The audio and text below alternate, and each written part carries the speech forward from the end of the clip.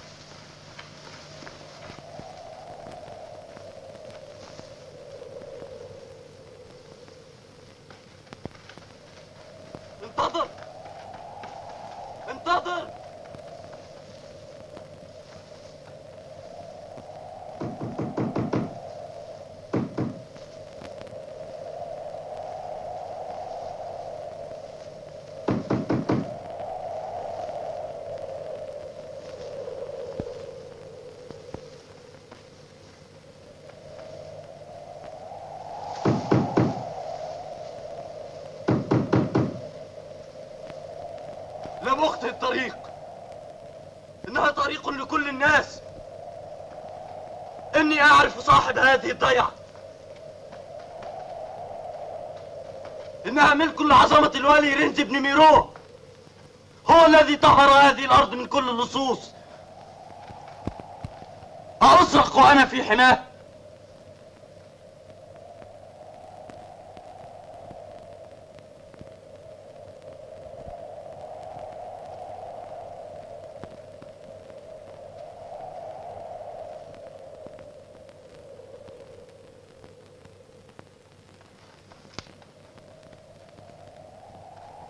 يا عظمة الوالي يا أعظم العظماء.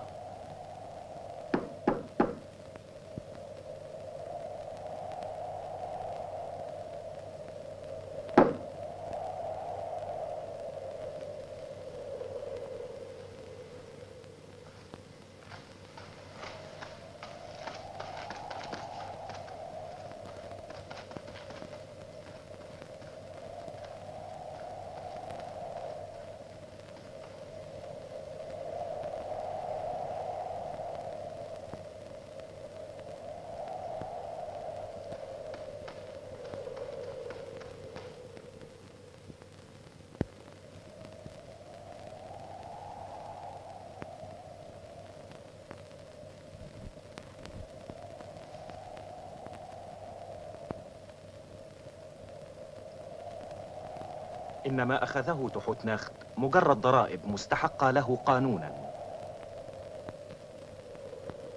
هل يعاقب تحوت نخت من أجل حفنة من النطرون والملح؟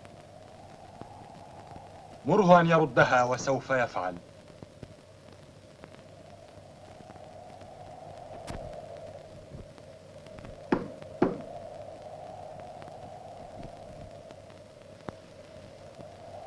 أيها الحاكم على كل من فني ومن لم يفن. إذا ذهبت إلى بحر العدل فإن الهواء لن يمزق قلعك ولن يتباطأ قاربك ولن تكسر لك مرسى ولن يحملك الطيار بعيدا ولن ترى وجها مرتاعا. ذلك أنك أب لليتيم وزوج للأرملة وأخ للمنبوذ وراع لمن لا أم له.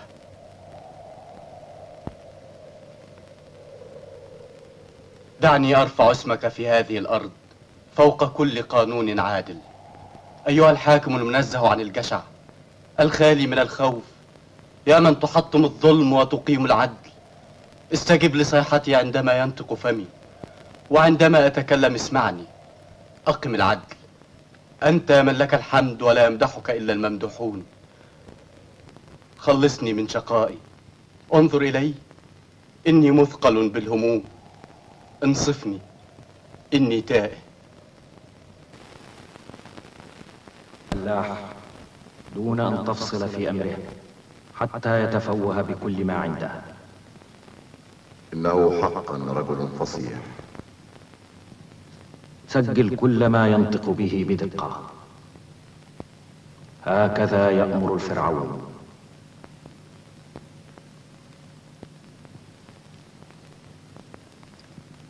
وفي هذه الأثناء زوده بالطعام والعون. وليرسل خادم إلى قريته ليرى ما إذا كانت أسرته تعاني من الحاجة خلال هذه الفترة. تفضل لتدلي بحديثك هذا إلى الفرعون.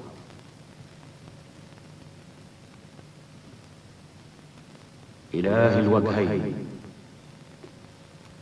الرب العظيم. ابن الشمس حاكم التيجان. الخالد المخلد.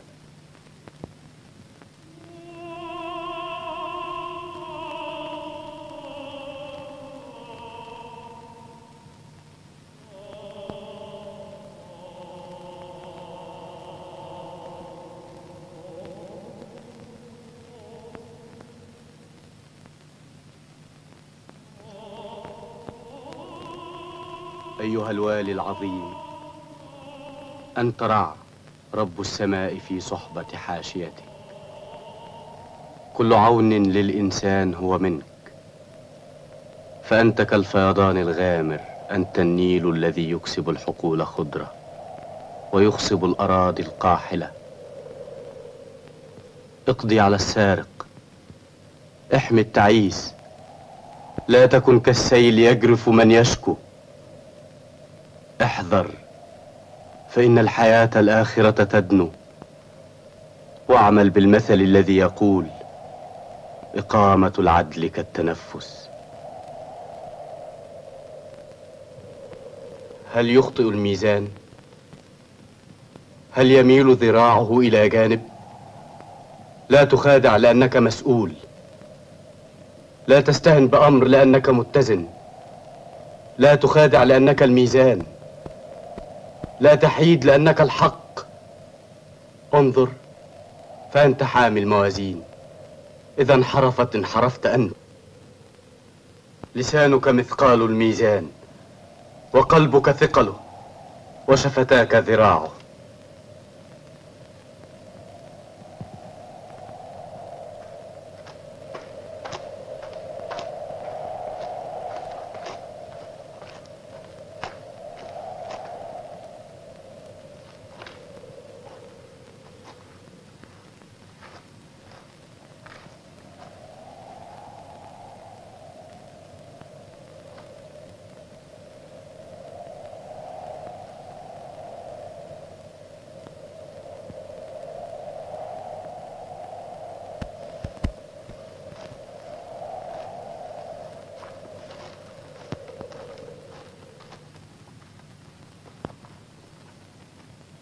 لقد عينت لكي تسمع الشكاوى وتفصل بين خصمين وتكبح جماح السارق ولكنك تنحاز إلى جانبه. الناس يحبوك ولكنك معتد.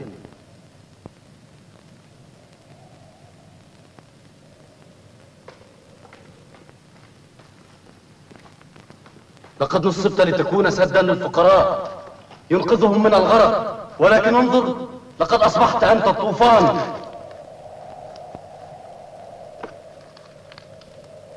أقم العدل.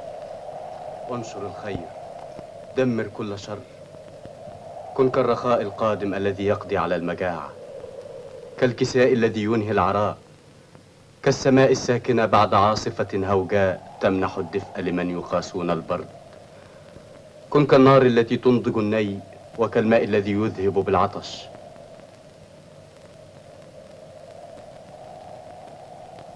أوتيت العلم واكتسبت الدراية لا لتسلب الناس. اعتدت سلوك البشر. لذلك فأنت عرضة للخطأ. أفضيلة بني الإنسان أصبح زعيم المعتدين على الأرض. إن زارع الشر يروي حقله بالظلم. يا من تأمرها فتصدع لمشيئتك وتبحث. إن جوفي يضيق بما فيه وإن قلبي مثقل هناك صدع في السد والمياه تندفع منه. لذلك أفتح فمي لأتكلم. ليس هناك من صامت إلا وقد أنطقته. وليس هناك من نائم إلا وقد أيقظته وليس هناك من جاهل إلا وقد جعلت منه حكيما. إن الذين نصبوا لكي يدرئوا السوء أصبحوا ملجأ للعابثين. أقم العدل. من أجل الإله الذي أصبح عدله قانونا للعدل. فالعدل للخلود. وهو يهبط مع صاحبه إلى القبر. حينما يلف في كفنه ويوضع في التراب. فلا يمحى اسمه من الأرض بل يذكر لأنه أقام العدل. ذلك هو شرع الإله.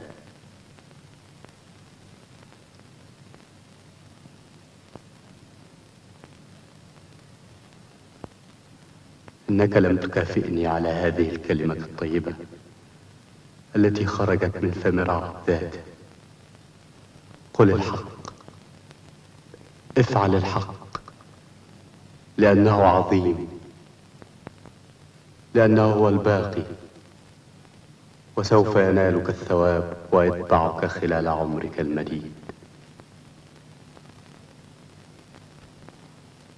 أما من يتغاضى عن الخديعة فلن تكون له ذرية ولا وارثون على الأرض. ذلك الذي يبحر ومعه الخديعة لن تصل سفينته إلى مرفأها. ليس هناك أمس لمن لا يبالي وليس هناك صديق لمن صمت أذنه عن العدل وليس هناك يوم هنيء للجشع. إني أشكو إليك ولكنك لا تسمع شكواي. سأذهب وأحمل شكواي منك لأنبيس إله الجبار.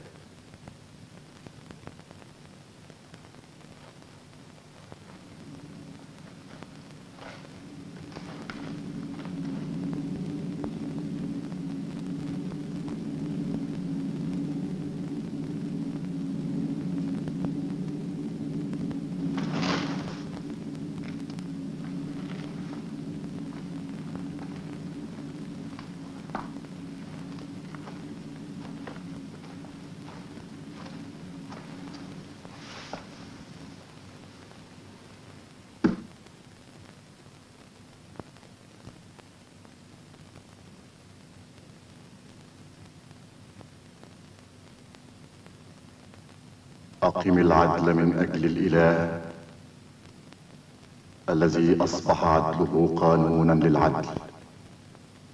فالعدل للخلود وهو يهبط مع صاحبه إلى القبر حينما يلف في كفنه ويوضع في التراب. فلا يمحى اسمه من الأرض بل يذكر لأنه أقام العدل.